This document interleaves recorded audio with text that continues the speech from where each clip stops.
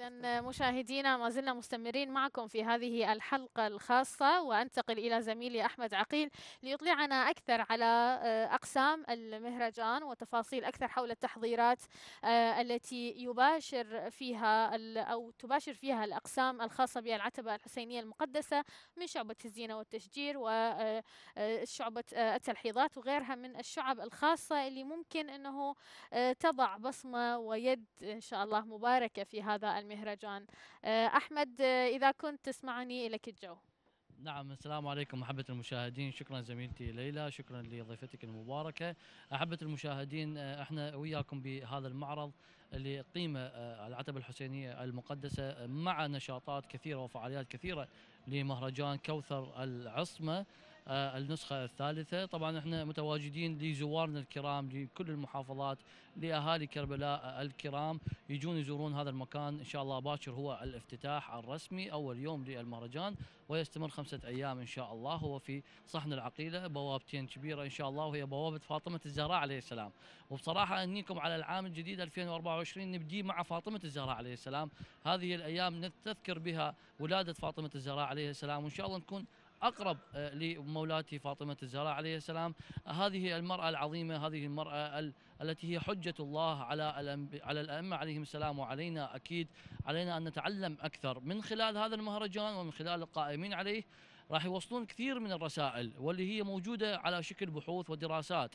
وندوات بحثية من جانب النساء أو الرجال، شاركت بها الكثير من الدول، كثير من الباحثين، أيضا على مستوى اللوحات مثل ما تشاهدون خلفي آه، وفي أقسام أخرى إن شاء الله راح نستعرضها خلال هذه التغطية اللي موجودة خلال الخمسة أيام لمهرجان كوثر العصمة. كثير من النشاطات أيضا مهرجان قسم آه، الطفولة أيضا يكون لديه قسم خاص لأحبتنا الأطفال لكي يتربوا على نهج أهل البيت عليهم السلام وعلى آه، مسيرة فاطمة الزهراء عليها السلام، كل هاي النشاطات اللي راح تكون موجودة ويانا إن شاء الله. في هذا المكان أكرر في صحن العقيلة آه، عليه السلام قريب من الإمام الحسين عليه السلام كل زوارنا الكرام من كل المحافظات من محبينا أهالي كربلاء يجون يشوفون هذه اللوحات عن فاطمة الزهراء عليه السلام أو الكتب أو الدراسات أو البحوث أو قسم الأطفال موجود. طبعا هناك الكثير من التفاصيل والكثير من الفعاليات والنقاط راح يكون ويانا الأستاذ غيث الدباغ وهو عضو اللجنة التحضيرية وأيضا هو المسؤول عن المعرض الفني ويانا راح يعطينا تفاصيل أكثر. أهلا وسهلا بكم. آه، شرفتنا نورتنا. مباركين إن شاء الله على ولادة فاطمة الزهراء هذه الذكرى الكبيرة والعظيمة. وأيضا مباركين على هذه الجهود والبصمات الحديثة اللي تختلف عن النسخة السابقة.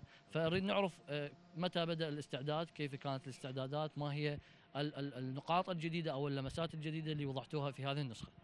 بسم الله الرحمن الرحيم. طبعا آه، إن هذا المعرض هو الدورة الثانية لمهرجان كوثر الأسمى وبدأت الاستعدادات لإقامة المعرض منذ أكثر من أربعة أشهر وعلى نطاق واسع. فتم فتح بوابة حديثة لاستقطاب الشباب آه، الخاصين آه، بالمشاركات الفنية. وكذلك هنالك تنوع في المشاركات كما ترون.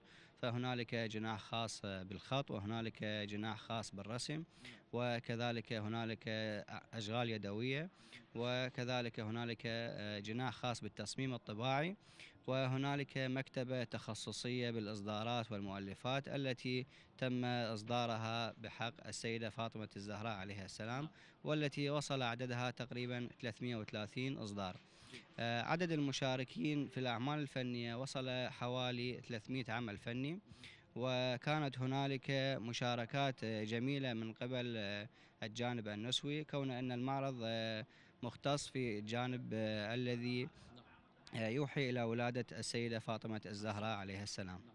يعني اللي يميز هذه النسخة أنه مشاركات أكثر للنساء لأنه إحنا في ذكرى ولادة فاطمة الزهراء عليه السلام. نعم هنالك آه، مجموعة من آه، النشاطات النسوية الواسعة التي حدثت هذه السنة من خلال مشاركتهم في الأعمال الفنية وكذلك الجلسات البحثية ومشاريع ونشاطات أخرى أقامت في مجموعة من مواقع مشاريع العتبة التي تقيمها العتبة الحسينية المقدسة. طيب بصراحة ودائما أكرر يعني العتبة الحسينية المقدسة هاي مو لأنه أنا أتشرف إنه أعمل بهذه ال- المكان المقدس ولكن نشاهد اللمسات الحديثة البصمات الجديدة آه، مثل ما يقولون التصميم الحديث المودرن مع ما يحتاجه الجمهور أو تحتاجه الشباب خاصة هذه الفئة اللي نحتاج إنه توعية مع الهجمات اللي موجودة على التغيير الفكري والتأثير بالتاريخ الإسلامي. كيف يعني كانت ال- الجلسات الأولى أو كيف خططتوا لهذا بصراحة المكان الجميل وهذا الاستعراض الجميل وأيضا حتى الديكور وحركة المكان تحسه وكأنما أنت في بيتك وكأنما وكأنما إن شاء الله يعني في بيت فاطمة الزهراء عليه السلام، فكيف كانت هذه الخطوط الأولى لهذا ال- التصميم عفوا؟ طبعا الخطوة الأولى جاءت بتوجيه من سماحة المتولي الشرعي للعتبة الحسينية المقدسة وجناب السيد الأمين العام للعتبة الحسينية المقدسة حيث تم تشكيل مجموعة من اللجان. هنالك لجان تحضيرية عليا ولجان تحضيرية فنية ولجان تنفيذية ولجان تحكيمية للأعمال الفنية المشاركة وكذلك الأعمال الأدبية والبحوث وغيرها من النشاطات. طيب آه، إحنا نتحدث انه هنا شنو الأقسام شلون قسمتوها؟ يعني إحنا هسه تقريبا بالقسم الثاني من من الخيمة نسميها خيمتين كبيرات، القسم الأول شنو بيه؟ القسم الثاني والثالث والرابع، شلون راح تكون تقسيمه؟ المعرض متكون من أربعة أقسام. القسم الأول آه، والثاني يحتوي على الأعمال الفنية والأعمال التي آه، فازت في المسابقات التي أطلقت آه، ضمن نشاطات المعرض. أما الجناح الثالث فهو متخصص بالورشات التدريبية وال وكذلك الجلسات التي ستعطى للطلبة. وناتج هذه الجلسات والدورات ستقدم وتعرض في آه، الحفل الختام الخاص بالمهرجان. أما الجناح الرابع فهو سيكون خاص بجلسات الاحتفاء بالفائزين في هذه المسابقات والمسابقات الأدبية وغيرها من المسابقات التي أطلقت ضمن نشاطات المهرجان. جميل. آه، لاحظنا أيضا يعني إن شاء الله راح نستعرضها الآن أو خلال تغطيتنا وياكم خمسة أيام، قسم خاص بالطفولة. آه، شنو إذا تعرف يعني معلومات عن هذا الموضوع أو شنو أهمية هذا القسم بتربية الجيل الحديث؟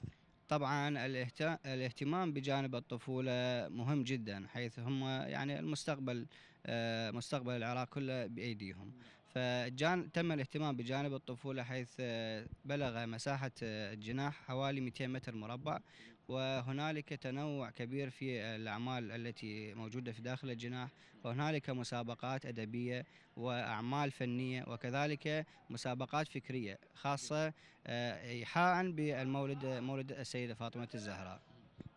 آه، مثل ما تسمعون أعزائنا المشاهدين هنا أكو صوت الشباب كلها تعمل. وما شاء الله على آه، يعني آه، بالثانيه بالدقيقه كل التفاصيل نختم المهرجان وكأنما إحنا في جو المهرجان حاليا لأنه هاي الليلة الأخيرة. غدا إن شاء الله هو الافتتاح. نتحدث عن شعورك بصراحة نتحدث بعيدا عن الإعلام والكلام الرسمي. أكيد أنتم خلال هاي أربعة أشهر بذلتوا جهود كبيرة في سبيل إيصال هذه النقطة وهذا النجاح وإن شاء الله مباركين. الآن ما هي المشاعر وما هي نسبة الإنجاز للافتتاح إن شاء الله باكر؟ طبعا الجميل في هذه الدورة أنه هي صادفت في نهاية وبداية بداية سنة جديدة. فنحن يعني آه، بداية الأعمال تبدأ من الصبح وتنتهي نهاية الليل يعني. فالبارحة كانت آه، نهاية أعمالنا بنهاية السنة وبداية أعمالنا بداية السنة. فشيء جميل جدا كان. الحمد لله. زين أه، أه، بصراحة السنوات الأخيرة ودائما العتبة الحسينية المقدسة تركز على فئة الشباب. شفناها في أسبوع الصادقين شفناها الآن. نسبة مشاركة الشباب في هذه النسخة إيش قد وشلون شلون كانت الطريقة؟ طبعا أغلب الأعمال المعروضة في المعرض الفني هي أعمال خاصة بالشباب. وهنالك جناح وجانب خاص لكبار الفنانين المشاركين في المعرض. فمثلا جناح الخط آه، تم وضع آه، شروط المشاركة في هذه المسابقة التي أطلقت من قبل العتبة الحسينية المقدسة المختصة في جانب الخط مثلا والتي تحتوي على 20 بند آه، من الشروط وتم قبول الأعمال وفق الموافقة على هذه الشروط والوجود المعروضة حاليا جميعها مطابقة للشروط التي وضعت في المسابقة. شكرا لك أستاذ غيث دباغ شكرا لك شرفتنا موافقين إن شاء الله.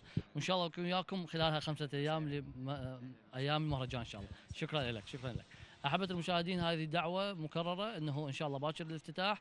تجون تزورون وتكونون أقرب لفاطمة الزهراء عليه السلام من خلال اللوحات ومن خلال الد- الدروس أو عفوا المحاضرات والبحوث أيضا. وهناك مكاتب آه، كتب خاصة عن فاطمة الزهراء عليه السلام. مستمرين بهذه التغطية ونعود إليكم. نعم أحسنت أحمد شكرا لك ولهذه التغطية والجولة اللي عرفت بها عرفتنا بها على التحضيرات والاستعدادات لمهرجان كوثر العسمة